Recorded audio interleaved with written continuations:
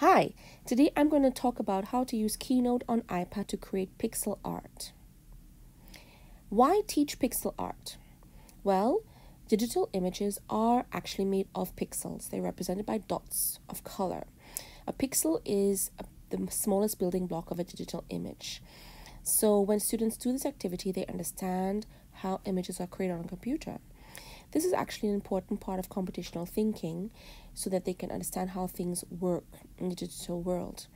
So they can analyze different elements of the image and then they can be creative with color and composition. Keynote is really the best tool to use for this because it has tables, it has formatting tools. It's really versatile. You can even add extra stuff like audio for reflection. And we can export the finished product as a GIF, movie, image, or PDF. Just note that pixel art is of course possible in the other iWork apps as well, but today we're going to focus on Keynote. So again, the aim of the activity is to get students understanding how pixel art works and then they can design their own pixel art and even animate it. As a teacher, you're going to prepare the lesson, prepare the materials, then we're going to see how you can explain it, how students can practice it, we're going to look at the class task and then we're going to look at the individual task. So how does preparation go? Well, in my case, I prepare a table in Keynote. I use the size, for example, 24 times 24, so 24 rows and 24 columns. And the function we're going to be using is called conditional highlighting with 10 colors, actually 11 because we're going to use 0 as a color, as white. And the method we're going to be using is we're going to use a number to fill in a color. It's really easy. I'm going to explain how this is done in the next slide. Hi, I'm now going to show you how to create a table that you can use for pixel art in Keynote. As you can see, I have a already created one here just to show you what it looks like as a finished product. And if I type in any number, then it's going to just automatically change color because I already pre-programmed it already. And to, to erase, just erase the number to remove the color. So how do you add a table? You add a table by going to plus, adding the table you want. You can add rows and columns. So I'm just going to just do that. I'm going to add 24 rows, 24 columns. Of course, you can format it however you want, but let's take a look at the conditional formatting. So you have to make sure the whole table is selected. Then you go to the paintbrush. And what you need to do is you're going to say, okay, you add conditional highlights. Number is equal to, let's say the number one. We want to make the number one, it to be black. We want it to be, when you type in the number one, it's going to be, the text color is going to be black and the cell fill is also going to be black. Yeah? Now we can, we can press done. We can also just simply just add rule. Then we're going to go to 2, etc. And we're going to test it later. So 2, let's say we want 2 to be yellow, which is not a problem. We can say 2, we want to we're going to change the text color to yellow. And we're also going to change the cell fill color to yellow, the same yellow. So it'll be, it'll disappear, so to speak. So let's test that. Let's type a 1 inside of a cell and see if we did it correctly. Yes, we did. And let's type a 2 in the cell to see if we did it correctly. And we did. Great. So let's see how we can explain this with examples.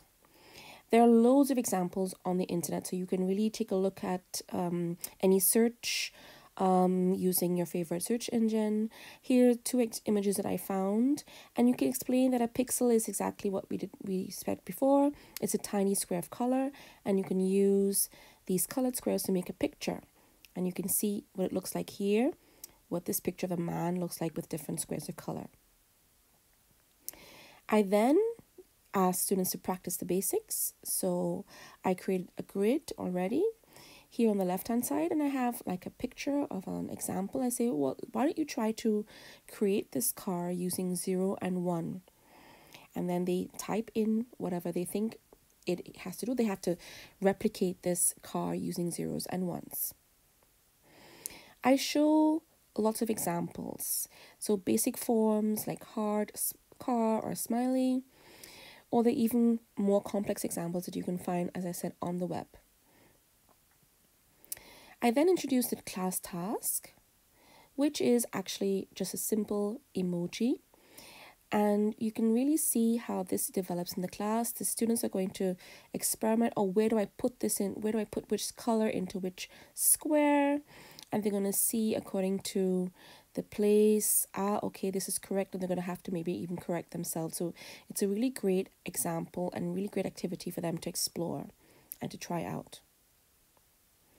Then they go on to the individual task, and here we see that students can really have fun with their names, or they can draw a scene in pixels, or they can really just draw anything with a pixel.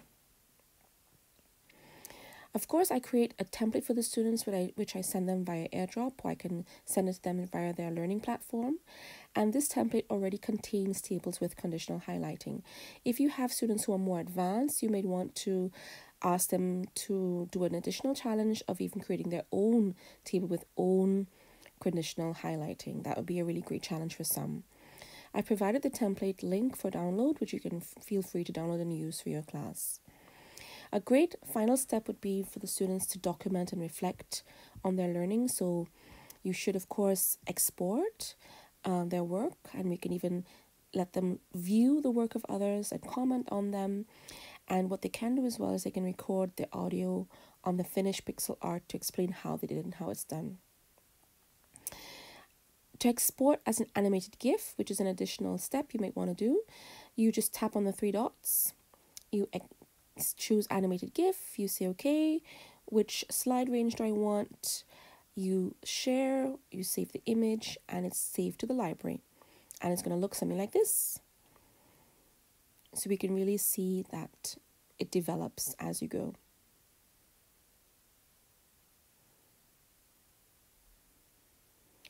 Thank you very much for watching this video and I wish you a lot of luck and all the best with your pixel art with your students.